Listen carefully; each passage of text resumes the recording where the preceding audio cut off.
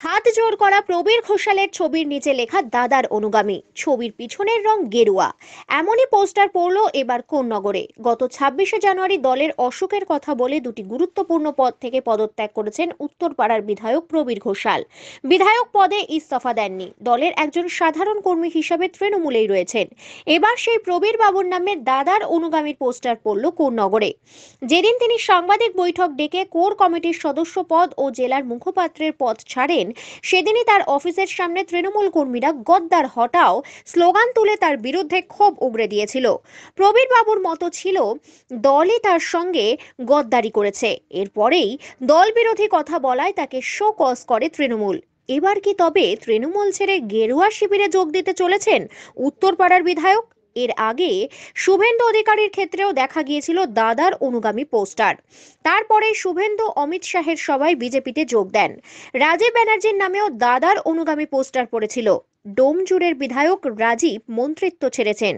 আবার অমিত শাহ বঙ্গে আসছেন, সভা করবেন ঠাকুরনগর ডোমজুড়ে এবার কি সেই সভাতে যোগদান হবে রাজীব প্রবীরের? ঘটনা প্রবাহ তো তেমনই ইঙ্গিত দিচ্ছে।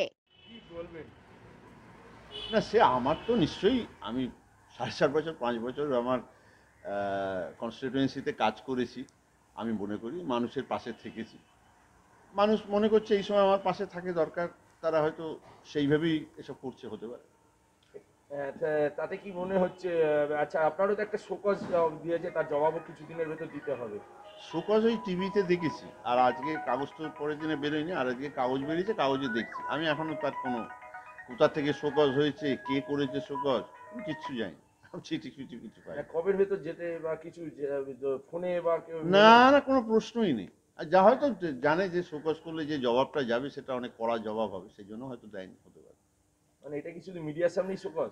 হ্যাঁ আমি এখনও অপেক্ষা করছি শোকজ আসবে সেই জবাব এই দাদার অনুগামী এর আগেও রাজীব বন্দ্যোপাধ্যায় শুভেন্দু অধিকারী এরকমই পড়েছিল তারপরেই দেখা গেল শুভেন্দু অধিকারী বিজেপিতে জয়েন করেছে। আপনার ক্ষেত্রে কি বিজেপি কি ডাকছে না আমি এখনও কোনো সিদ্ধান্ত নেই। বিজেপি তো প্রকাশ্যে বলছে যে ভালো মানুষ ভাবমূর্তি আছে আসতেই পারে। আপনি এখনও সিদ্ধান্ত নেয়নি কিন্তু এই যে আমার প্রেস কনফারেন্স চলাকালে দশটা ছেলেকে অফিসের সামনে নিয়ে পাঠিয়ে দেওয়া হলো বিক্ষোভ। তার মানে তো বোঝা যাচ্ছে যে ভালো লোকেরা কাজ করতে পারবে না এবং তারা যত তাড়াতাড়ি চলে যায় যারা কৌরিকম্যে খাবে তাদের মনে হচ্ছে তা আমরা তত তাড়াতাড়ি তৃণমূলটাকে পুরোপুরি দখল করে নিতে পারব। আপনি দলের বিধায়ক থাকাকালীনই একদম স্লোগান উঠল গদ্দার হাটাও। আপনার অফিসের সামনে। এবং সেইটা আমার আমার যেটা সুবিধা হয়েছে যারা করেছে তাদের চেনে তাদের যারা নেতৃত্ব দিয়েছে তাদের ডাক নামগুলো আপনারা খোঁজ করলেই বুঝতে পারবেন যে তাদের সমাজে কি রেপুটেশন আছে। এত ফোন এসেছে আমার প্রেস কনফারেন্সের পরে এত লোক দেখা করতে এসছে এত ফোন এসছে। যে আমি নিজে কল্পনা করতে পারিনি যে এই জায়গায় আমি আছি। আমি ঈশ্বরের কাছে আল্লাহর কাছে সত্যি কৃতজ্ঞ।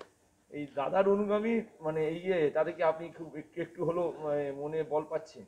মনে বল আমার বরাবরই আছে। আমি ঈশ্বর দর্শনে বিশ্বাস করি আর মানুষকে বিশ্বাস করি।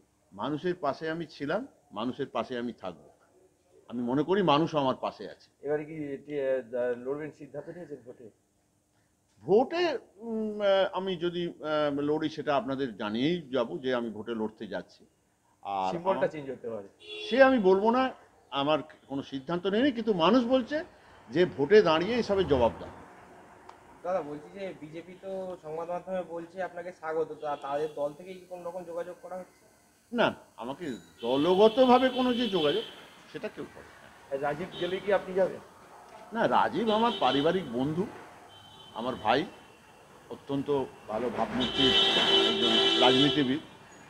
তার সঙ্গে আমার ব্যক্তিগত সম্পর্ক আছে। রাজনৈতিক সম্পর্ক তো আছেই। সেটা দেখা যাবে। যথেষ্ট